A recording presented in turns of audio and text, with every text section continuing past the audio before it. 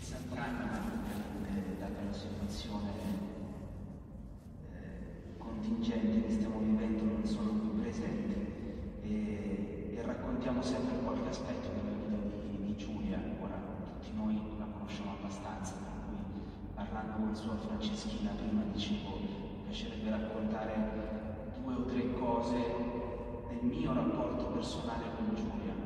Forse qui sono quello che la conosce di meno. Eh,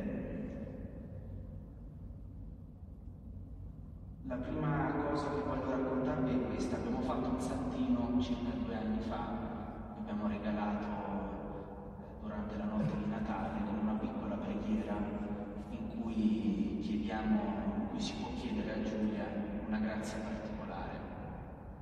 Ognuno chiede la sua grazia e eh, io ho regalato questo santino a diverse persone eh, e poi ho iniziato anch'io a utilizzarlo. Ogni mattina ho iniziato a pregare questa preghiera che c'è su questo santino. Eh, in particolare ho pregato Giulia perché concedesse a delle madri che non riuscivano ad avere dei figli eh, dei bambini. E così l'ho fatto per, per tre coppie e tutte e tre eh, le coppie hanno avuto un bambino che aspettavano da, da anni, da anni. Ovviamente eh, non per mezzo delle mie preghiere, eh, ma per, eh, sì, per, per una grazia particolare una grazia particolare che Giulia ha concesso. E ancora oggi, soprattutto quando si tratta di, di giovani mamme che non riescono ad avere dei figli, mi rivolgo, mi rivolgo a Giulia.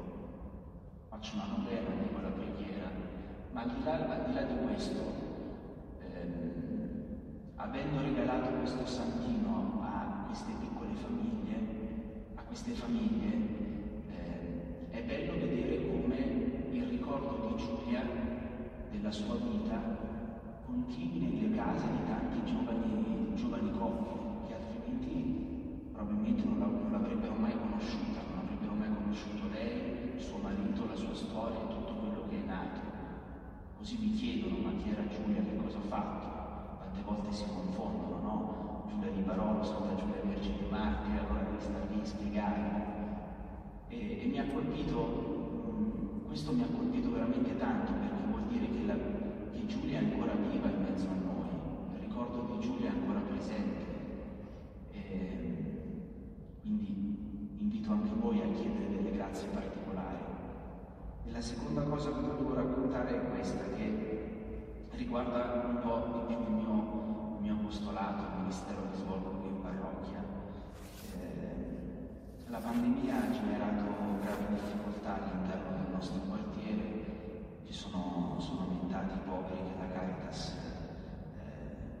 serve eh, e ho visto anche e soprattutto il disagio che vivono i ragazzi nel nostro quartiere, perché non andando a scuola ormai da, da otto mesi si sa le difficoltà che stanno vivendo. E allora ho iniziato a pregare Giulia perché mi desse un'illuminazione, mi sono detto questa parrocchia al centro di, di questo quartiere è il cuore pulsante.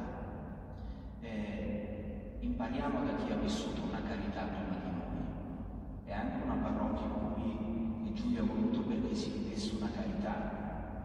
E allora, eh, sì, chiedendo a lei è nata questa bella iniziativa di collaborare ai giovani della parrocchia insieme alla Caritas parrocchiale eh, saranno, si spera, i ragazzi nei prossimi mesi a preparare i pacchi, a distribuire frutta e verdura, a consegnarli alle famiglie. Ma vi racconto questo perché eh, sì, la carità che si viveva 150 anni fa per opera di Giulia e di Carlo continua ancora oggi, certo in un modo assolutamente diverso, ma è ancora presente, ancora è vissuta quest'oggi sia dai volontari della Caritas sia da, dai giovani e questo mi affascina perché vuol dire che è una carità viva, che non è una carità che si sta spegnendo, ma la fiamma della carità è abitato in questa parrocchia ancora viva. Ecco, queste sono, eh, come dire, questa è la mia esperienza personale del, del rapporto con Giulia ed è ovvio che è vicino a lei eh, saprà, saprà dire cose simili, ma anche noi parrocchiani, chi un po' di meno, eh, vi invito a, a pregarla, a invocarla, a chiedere il suo aiuto e la sua intercessione, lei che dal cielo ci guarda e sono sicuro